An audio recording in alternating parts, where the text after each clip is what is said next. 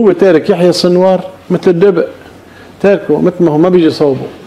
وهو يسعى نتنياهو إلى آه، تعرية يحيى السنوار من القيادات الوسط واللي حواليه تيبقى وحده. أنا ما بنكر إنه يحيى السنوار رجال قبضاي ورجال يعني رجل مقاتل من الطراز الأول. يعني ويحيى السنوار إذا خرج مثل ما هو الاتفاق اللي عم يحصل إنه بيخرج يحيى السنوار من غزة بطرق بطرق آمنة هو وجماعته وبيروحوا الرهان إلى آه، القدس تل أبيب ما بعرف وين بيروحوا رهان الإسرائيلية وبتخلص العملية. هون بتفوت إدارة جديدة بتسلم غزة. عال يعني يحيى السنوار بيطلع زعيم لأنه اغتيال إسماعيل هنية لهلا ما عرفنا كيف مات الزلمة الرجل.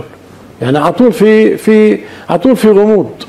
يعني اغتيال إسماعيل هنية حاولوا الأمريكان والقطرية آه، الشيخ تميم آه، يركبوا آه، خالد مشعل ما قبلوا معهم الإيرانية. ركب يحيى السنوار طب يحيى السنوار يعني خليل الحي بمكتبه ليحيى السنوار. نحن بنعرف.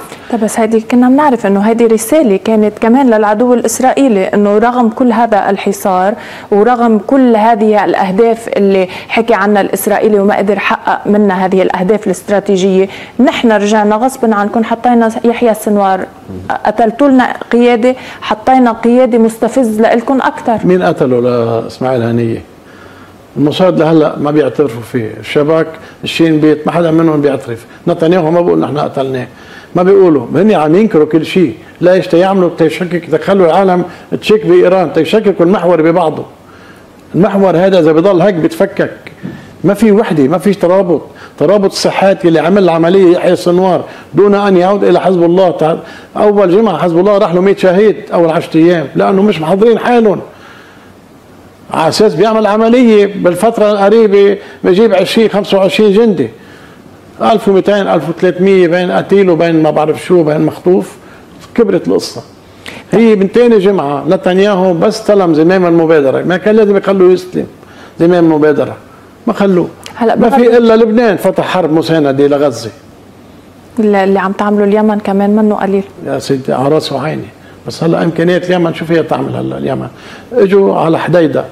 على مرفأ الحديدة ضربوا المرفأ كله دمروه. أنا ما عم أقول اليمن ما عملت الحوثيين ما عملوا طب هو بس نحن بدنا نعرف شو المطلوب من هذا المحور. يعني هل المطلوب جر كل المنطقة لحرب تنجر. شو المشكلة؟ شو بنعمل له؟ وساعتها إذا جريتها بنقول لا لكن العالم بتقول هذا لا المحور لا لا لا هو المجرم اللي عم يعتدي على لبنان. طلعوا على القدس يعني. بندمر لبنان. وبنروح حزب الله. وبيموتوا كل شبابنا. طلعوا على القدس لا مش مزبوطه أنا خيزان من لبناني أنا هي مش راكبه براسي عم أعطي رأيي.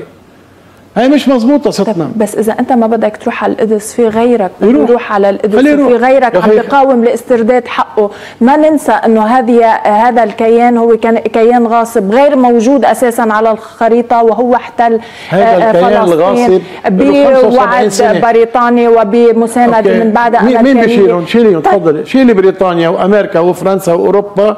وبعدين بنبقى بنحكي. طيب بنضعف بتروحي على راس الحي أول شيء. أوكي. مين راس الحي؟ بس أمريكا. المطلوب إنه ما نقاوم ما بالعكس نحن ضد نحن ضد إنه يكون عندهم شوية إنسانية ويستردوا يعطونا حقوق ما عندهم إنسانية.